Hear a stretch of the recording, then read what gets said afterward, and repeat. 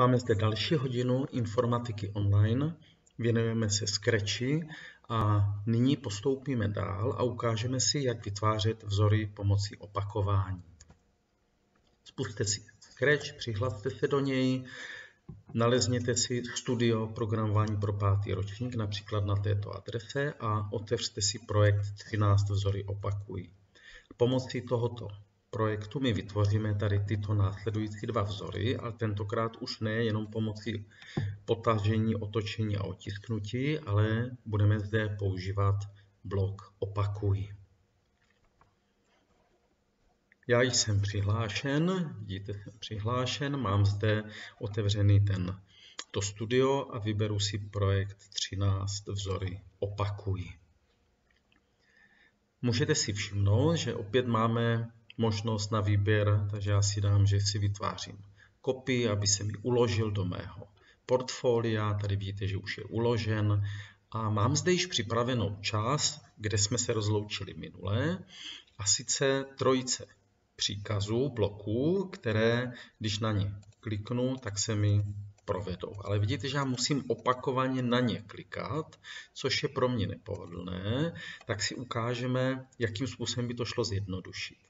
Jenom připomenu, to, co je zde uvedeno za tu zelenou vlaječkou, se provede na začátku při stisku zelené vlaječky, to znamená, dlaždice se umístí doprostřed, směr se nastaví nahoru a vše se svaže. Můžeme si ukázat. Když tu dlaždici někam popotáhnu jinam a dám zelenou vlaječku, opravdu skočí doprostřed. Tak a já bych nemusel tyto příkazy opakovat několikrát. Víme, kolikrát bych musel. Zkusíme tedy. Tak jedna, dva, tři, čtyři, pět, šest, sedm, osmkrát musím klikat. Tak co kdybych já to teď zjednodušil? Půjdu tady do nabídky všech bloků a v ovládání vidím, že mám nějaký blok opakuj. Já si ho vytáhnu tady sem ven, opakuj desetkrát.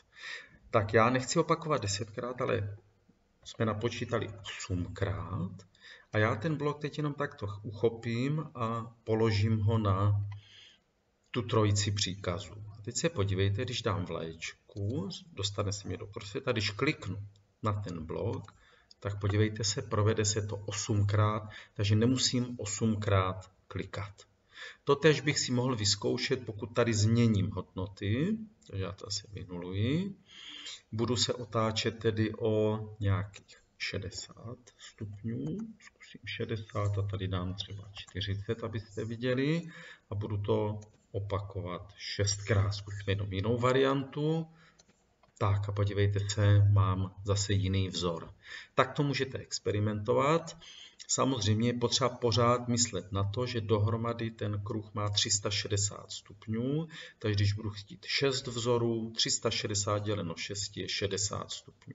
Když jich budu mít 5, když budu jich 5 mít, tak potřebuji 360 děleno 5 a to je 72 stupňů. Můžeme vyzkoušet, že to bude fungovat. Můžu si zvětšit klidně tady dopředu třeba 80 a podívejte se, už to bude vypadat třeba takto. Pokud bych chtěl pouze 4, 4krát opakovat, tak dám o 90 stupňů, 360 děleno 4 je 90 a mám takovýto útvar. Pokud bych chtěl to opakovat 16krát a dal si 22,5 stupně, musíte tak tady už by to bylo moc veliký, takže můžeme dát třeba jenom o 20 bych se posunul. Tady už to jde moc na velkou vzdálenost, ale podívejte se, už mám takovýto desetinou tečku. Pracujeme v online prostředí, je to americký systém na univerzitě eh, MIT, takže je potřeba dodržovat americkou konvenci a tam je se místo desetiny čárky píše desetiná tečka. Tak, tady jste viděli ukázky, jakým způsobem můžeme vytvářet takovéto bloky, jak můžeme použít příklad opakuj pro vytvoření pravidelných obrazců a můžete experimentovat a zkoušet další a další obrazce. Ještě než se rozloučíme, si ukážeme, jak vypadají programky, které jsme právě vytvořili, nebo pomocí kterých jsme vytvořili tady ty dva vzory pomocí opakování.